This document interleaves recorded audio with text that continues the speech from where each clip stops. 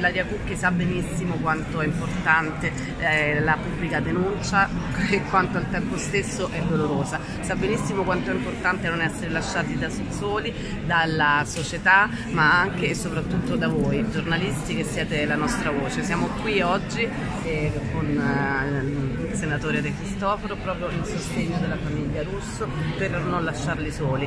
Sappiamo che a breve eh, si chiuderà l'udienza preliminare, inizierà un processo e abbiamo fiducia nella magistratura, nella giustizia e ci auguriamo che questa persona che indossa una divisa ma che non rappresenta l'arma dei carabinieri venga chiamata a rispondere per il fatto gravissimo di aver ucciso un ragazzino perché si parla della morte di un ragazzino, qualunque altra cosa possa essere detta è soltanto una scusa per eh, distogliere l'attenzione dal problema vero. Voglio ricordarvi che Stefano Cucchi era stato arrestato perché accusato di spaccio.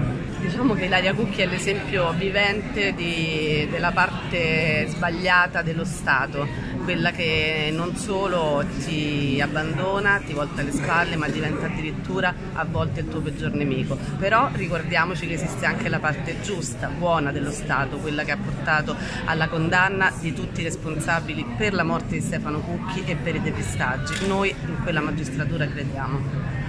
C'è fiducia ovviamente, abbiamo estrema fiducia, abbiamo speranza, ma ribadisco l'appello più grande lo rivolgo a voi giornalisti, non abbandonate questa famiglia, tenete alta l'attenzione su una vicenda che altrimenti rischia di finire come tante altre nel dimenticatoio.